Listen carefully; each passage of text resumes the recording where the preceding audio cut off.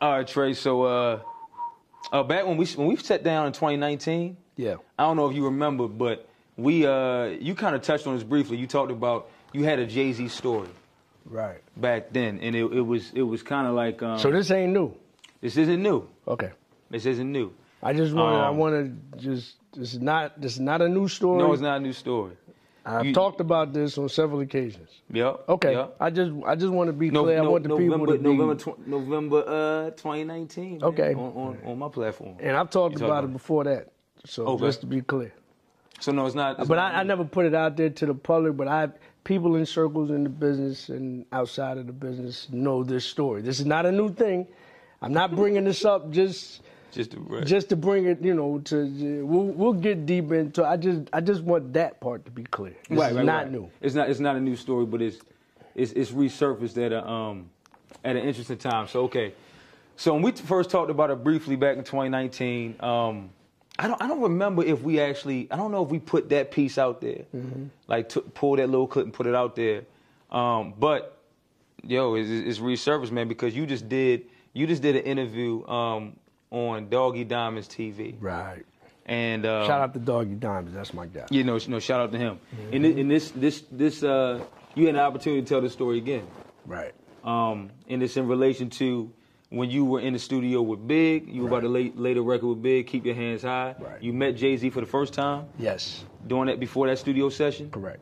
Um, that, talk about what happened with that. so with that so I'll tell the story again. Okay. right? This is not this. This will be a, an additional time that I've told this story throughout the years. You know what I'm saying? Because this story has existed. this might be the first time it kind of went a little viral, though, man. I, I, yeah, and, and, and that's the part that I find very interesting. So, okay, I'll say it again. I'm in the studio, D&D Studios. Uh, shout out to Primo. He owned the studio at the time, and we are recording "Keep Your Hands High" in one room. But I get there after Big, and when I get there, Big is there with Jay. Okay. And Jay is having a conversation with Big because he's also in D and D in another room. I think he's doing Streets is Watching. I could be wrong, but he's recording. okay. And so this is the first time I meet Jay because Big introduced me to Jay when you know I saw Big and all that. And we, t- we talking now, is 96, 97? 96, in the ni- December 96. Okay. okay. Um, it might have been around his birthday. I think it was December 5th. I think Jay's birthday Oh, was yeah, around that it, so. time or something like that. But anyway, um, yeah, I meet Jay for the first time. You know, the, the, the, the Keep Your Hands High track is playing in the background, produced by Ike Lee III. Shout out to him. And um, and so, you know, he was there the night that we recorded the song. And I think the part that's going that that that the part that people are in a frenzy over is two things.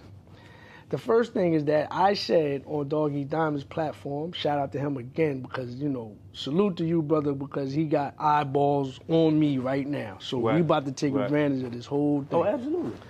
So I told Doggy, I said, there's an interesting, inter- interesting story about that night that Jay was there. And the interesting story to me was that he was there while we were recording that song. Mm-hmm.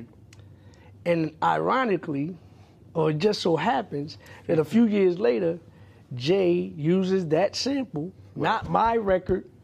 He uses the sample Okay. right? The Buchanans. I believe they produced the record for Jay. Okay. Sampled the same record from MFSB, right? Okay. And he said a line that was in my song. It was Big's line, But it was in your song. but it was in my song. Right. Right. So I find that interesting that he was there that night that we recorded the song and he winds up using the same sample that we used and took a line that Big said in my song. And, and real quick, Trey, correct me if I'm wrong, but did but did Jay also use a, at least a, a, a, a part of that line in um in the record with T.I.? Well, Jay didn't use it. They sampled Jay They saying sampled that. it. Right, right, right. But right, still, right. it's a derivative. It derived from my song. Your song, right? You see right. what I'm saying? Right. Again, it's Big's line. Big said the line. Big wrote the line, but it's a part of my song. Mm-hmm. I am a writer on that song. Right. You understand me? Right. And we'll get, and the reason why I'm trying to give people clarification is because I'm gonna break all of that down Right. later. But that's what happened. So then Doggie asked me, so should you get, he said, did you get paid for that? Right. right?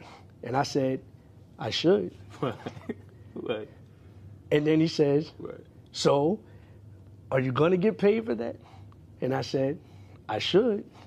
I said, but I haven't knocked on any doors yet. Right. You know what I'm saying? and that was it. He asked me a question, Mm-hmm. and I answered it. Right? That, that does that sound like? no, and, and, and on my way over here uh, tonight, I listened to it again for myself, Mm-hmm. and um, and yeah, man. I mean, I mean, you know, I, I think that you, you know, he asked you a question, like you said, you answered it, and um, I think you gave him some great content, man, by even adding that story on the back end of it too. because it was all relatable. Because he was talking about the song itself. Because he was making a comparison how me and Big did the song, Right. and then he said, "Well, Jay also used that same sample, but he used more of the loop, whereas Ike Lee the third kind of chopped it a little bit." You know Mm. okay. what I'm saying? Right. Right. Um, right. But but but yeah, it was it was all relative. Mm-hmm. I didn't just pull that story out of the blue. It all was relatable.